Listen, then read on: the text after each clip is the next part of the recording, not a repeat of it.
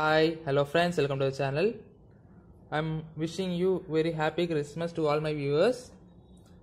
In today's topic, we'll be seeing process planning and cost estimation, Unit 4, production cost estimate MCQs. Question number 1.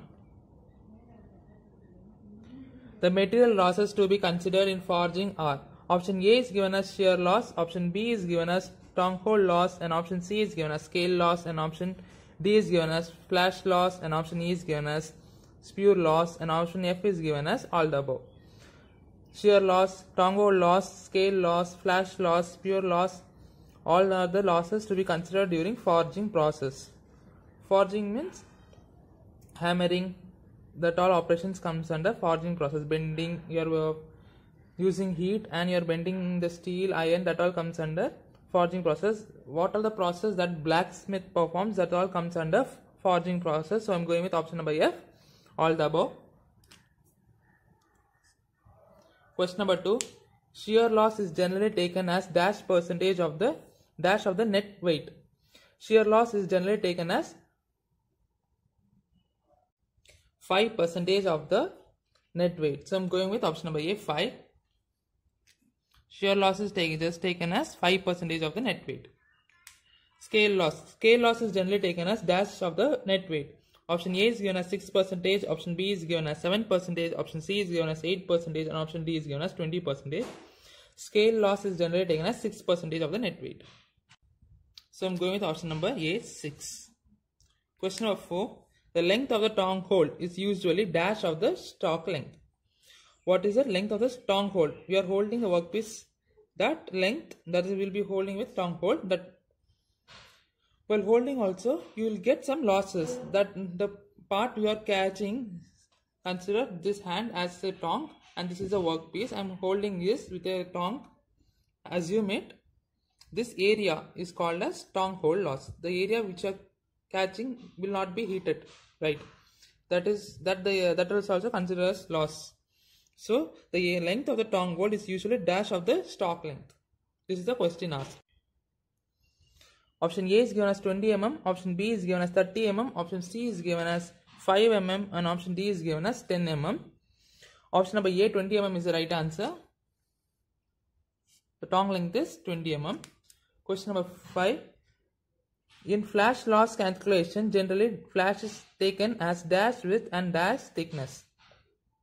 In, during flash loss calculation, the flash, that is a heat pass, is taken as dash width and the dash thickness. In flash loss calculation, the flash touches the at least the length thickness of 20 mm and thickness of 3 mm. So I'm going with option number A, 20 mm and 3 mm respectively.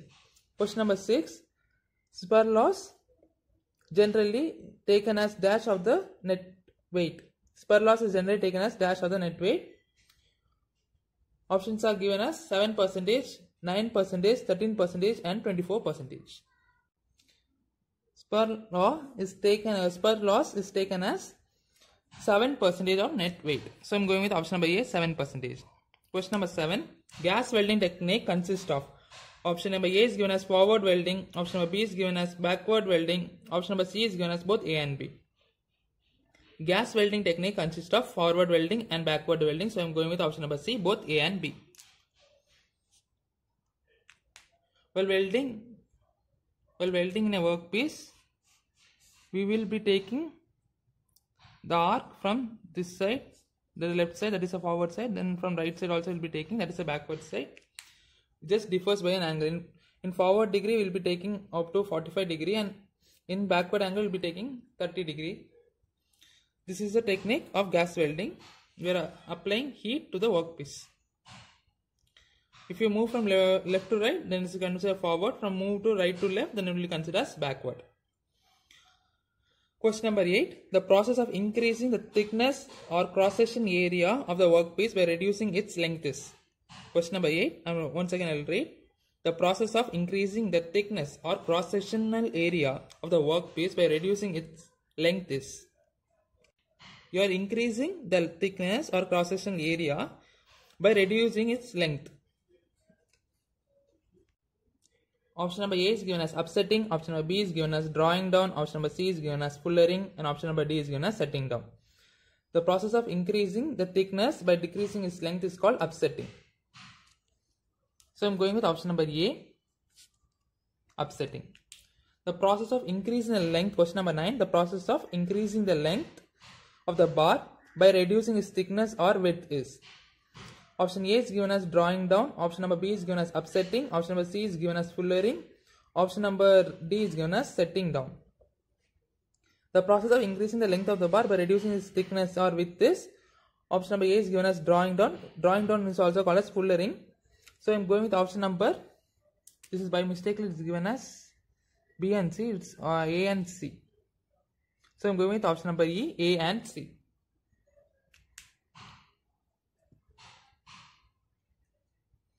Question number 10.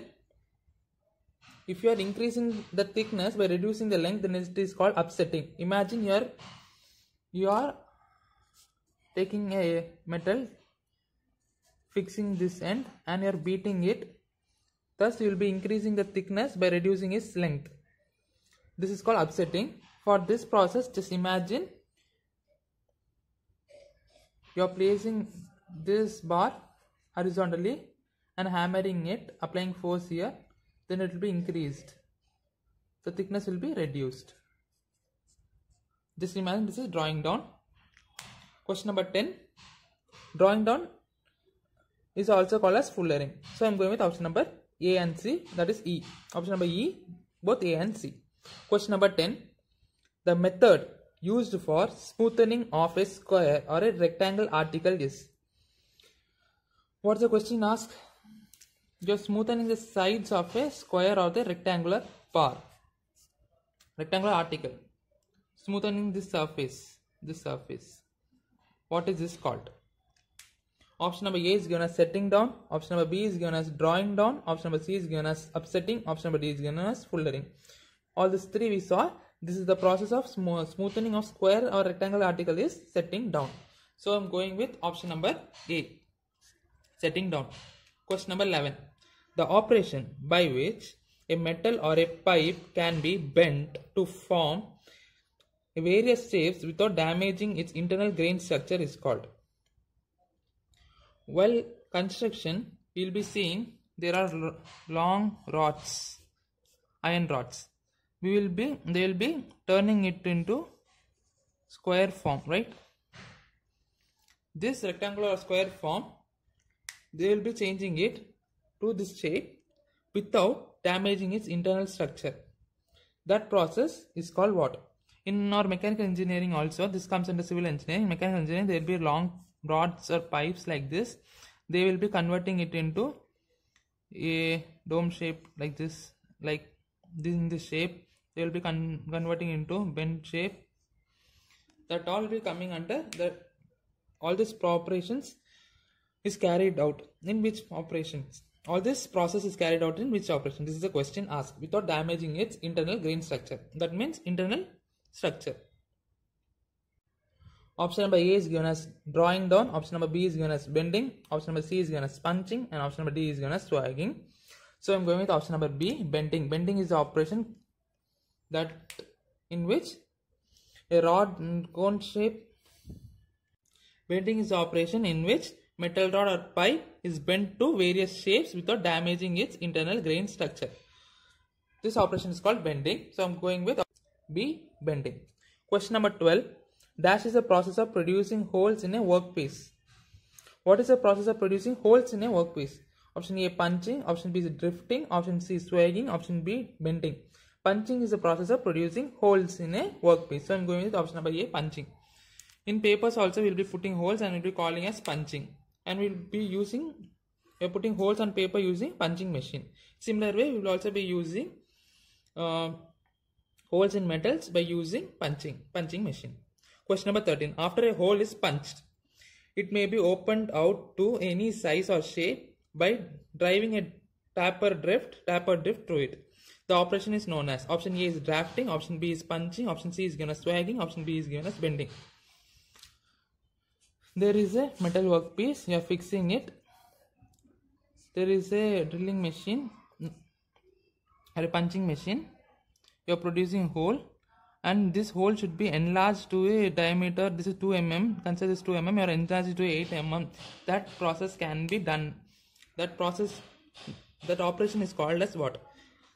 Option number a is given as drifting option number b is given as punching. Option number c is given as swaging. Option number d is given as bending. The right answer is drifting this operation is called drifting if you are increasing a hole then we are saying as drifting Question number 14. Dash is a process of removing the irregularities on the surface of the workpiece produced by the process of drawing down is.